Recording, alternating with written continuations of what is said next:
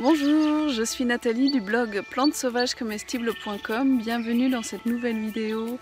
Aujourd'hui, je vais vous parler du millepertuis, le millepertuis qui est plutôt connu comme plante médicinale. Et j'ai un lien assez particulier avec lui parce qu'il m'a sauvé la vie quand j'avais 17 ans. À l'époque, je n'arrivais quasiment plus à dormir. Euh, je faisais des très très mauvaise nuit et même le jour j'arrivais pas à faire des siestes. Et le naturopathe que je suis allée voir m'a prescrit du millepertuis et un régime hypotoxique. Et après quelques semaines de traitement je suis revenue à la vie euh, euh, j'ai réussi à dormir de nouveau correctement et je me suis refait une santé. Donc je lui dois beaucoup au millepertuis euh, donc le millepertuis est connu comme plante antidépresseur euh, pour soigner les nervosités, pour euh, chasser les anxiétés. D'abord, comment reconnaître le millepertuis? Donc, Le millepertuis a une, tige, a une tige droite et rigide. La tige a deux euh, crêtes saillantes sur le côté. On le sent quand on, quand on touche la tige. Les feuilles sont opposées et sessiles. Sessiles, ça veut dire qu'elles démarrent directement sur la tige sans avoir de pétiole.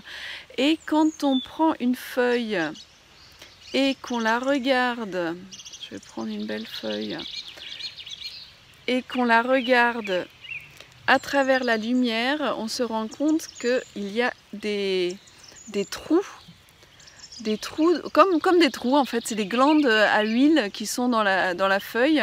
C'est ça aussi qui lui a donné le euh, nom de herbe à mille trous. Euh, et le nom latin aussi euh, Hypericum perforatum, donc perforé. Les feuilles sont comme perforées. Et dans les fleurs, donc des jolies fleurs à 5 pétales, vous avez aussi des glandes à huile. Euh, ça se voit par des petits, des petites taches noires. et dans ces glandes, il y a donc les propriétés qui nous intéressent. Le millepertuis, c'est une plante qui va toujours pousser dans des endroits euh, très lumineux, donc au soleil, et en général plutôt à des endroits secs et euh, dans un sol euh, pas trop riche. c'est assez assez étonnant qu'il pousse ici en milieu un, peu humide au bord du canal, mais c'est juste à côté de la maison. Il a dû se dire Nathalie de temps en temps elle a encore besoin de moi, alors je vais m'installer ici. le, comment on utilise le millepertuis? On l'utilise d'abord en infusion. Euh, les, euh, les, fleurs et les feuilles, euh, donc la sommité fleurie, on peut l'utiliser aussi bien sèche que fraîche. Quand on fait sécher la, la plante, euh, c'est assez facile, donc vous, prenez ou des bouquets que vous allez euh, suspendre à, l'envers, ou alors vous étalez les, plantes sur euh, un linge et vous attendez que ça sèche. Ça sèche assez rapidement. Il faut le mettre dans un endroit sec et à l'abri de la lumière pour que ça sèche. Et une fois que vous sentez que même les boutons floraux n'ont plus du tout d'humidité et que la plante est assez cassante, vous allez couper tout ça en petits morceaux pour que ça soit plus facile d'emploi vous allez mettre les plantes dans un bocal ou dans des sachets en papier. Euh, les bocaux surtout, il faut les mettre dans un placard à l'abri de la lumière pour euh, protéger les propriétés qui sont dedans. Euh, on peut aussi utiliser le millepertuis en teinture mère.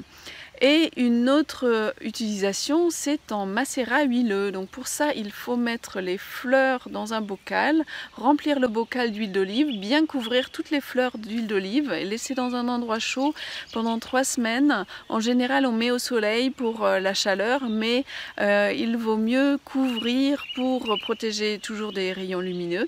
Et après trois semaines, on passe et l'huile aura pris une belle, très belle couleur rouge sang euh, et vous pouvez utiliser l'huile pour les brûlures. Dès que vous avez un coup de soleil, vous pouvez mettre l'huile de millepertuis pour apaiser.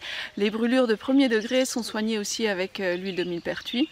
Également, vous pouvez faire des massages quand vous avez des douleurs articulaires. Et c'est une huile qui se prend aussi en interne pour des maux d'estomac, des ulcères d'estomac, des choses comme ça. Donc euh, le millepertuis a plein de propriétés. Euh, donc, euh, usez-en. Par contre, il y a des contre-indications. Euh, si s'il fait soleil, c'est contre-indiqué de le prendre avant de s'exposer au soleil. aussi bien en interne qu'en externe parce que ça peut créer des, des allergies, des rougeurs. Il y a une contre-indication aussi avec la prise d'antidépresseurs. Donc si vous prenez des antidépresseurs allopathiques, euh, parlez-en à votre médecin avant de prendre du millepertuis. Et on a aussi rapporté euh, euh, de l'inhibition de la pilule contraceptive. ça a l'air d'être assez rare, mais il faut savoir que ça existe.